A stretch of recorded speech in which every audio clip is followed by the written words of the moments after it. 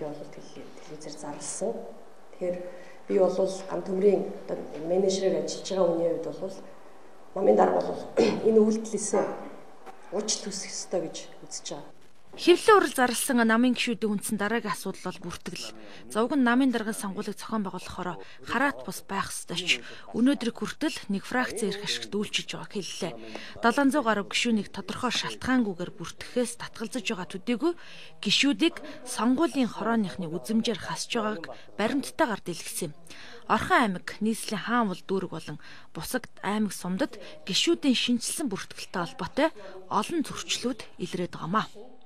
Арчилсан намын даргын сонгуулийн хороо хорооны хүмүүс хороонд ажиллаж байгаа хүмүүстэй хандж хэлэхэд та бүхэн их хурлаа их хурлын гишүүдийн өмнө тэр 1206 хүний өмнө авсан үүргээ биелүүлээ чи өнөөдөр хэрвээ энэ үүргээ биелүүлэхгүй бол энэ чинь арчилсан намын шинжилгээг энэ хүрээд зогсоож байна гэдгийг бол шууд хэлэх хэрэгтэй.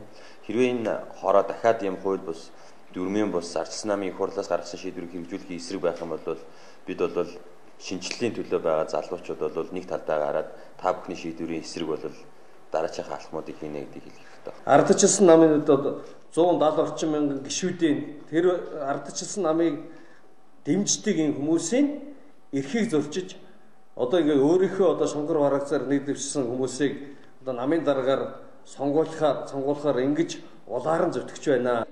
За ардчилсан намын нэр дэвшигч 21 аймаг 9 дүүргээ хамтдаа тойрсон ч заалны багтаамжаас үүдээд нэг уулзалтанд 200-аас 300 гишүү оролцож байгааг хэллээ.